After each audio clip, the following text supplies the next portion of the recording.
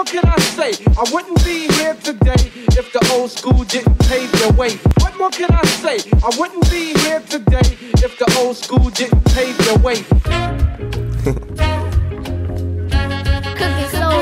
Ain't nothing like the old What more can I say? I wouldn't be here today if the old school. I remember Mr. Magic Flash, Grandmaster Caz, LL raising hell, but and it can last Eric B and Rakim was the shit to me. I flipped to see a Dougie Fresh show where Ricky D and Red Alert was putting in work.